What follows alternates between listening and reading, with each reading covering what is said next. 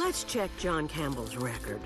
Campbell was charged for writing bad checks. The paper demanded John Campbell resign from the school board for taking checks from taxpayers he wasn't entitled to. Now John Campbell's running for state senate. John Campbell wants higher taxes, and John Campbell even opposed teacher raises. John Campbell. He writes bad checks, you write big tax checks. Teachers get small paychecks.